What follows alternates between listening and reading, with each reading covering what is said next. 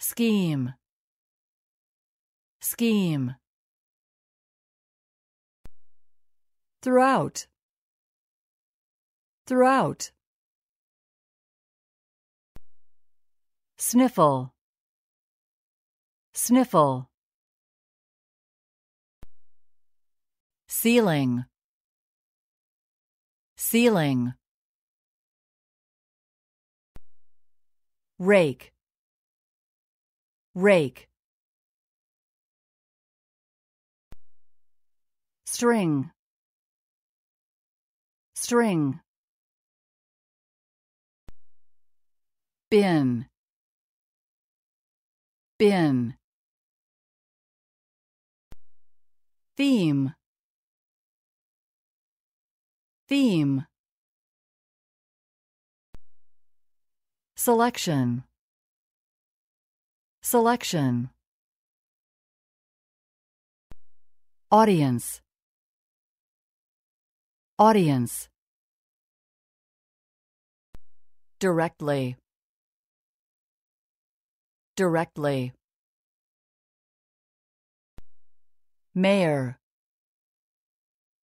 Mayor. Content. Content experience experience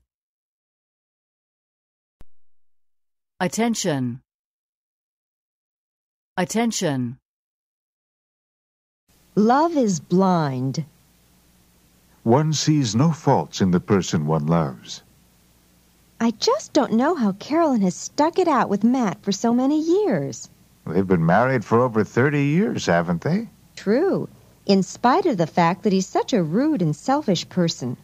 He has been far from the ideal husband, and yet she puts up with him and completely ignores his shortcomings.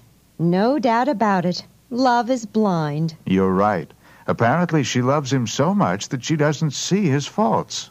Well, I can't say the same about my husband. I'm not blind to his faults, and he's not blind to mine.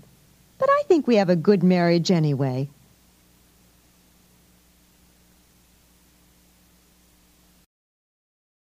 Actions speak louder than words. People's actions are more convincing than their words are. Listen, Jose, if you intend to ask Consuelo to marry you, you've got to get moving.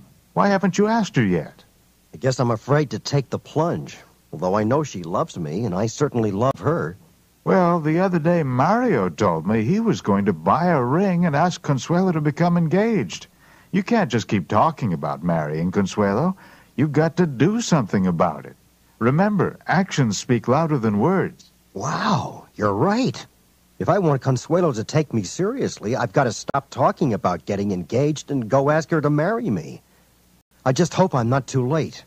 I don't think you've got anything to worry about. Consuelo has never been that fond of Mario. But if I were you, I'd move quickly. After all, you don't want to take any chances.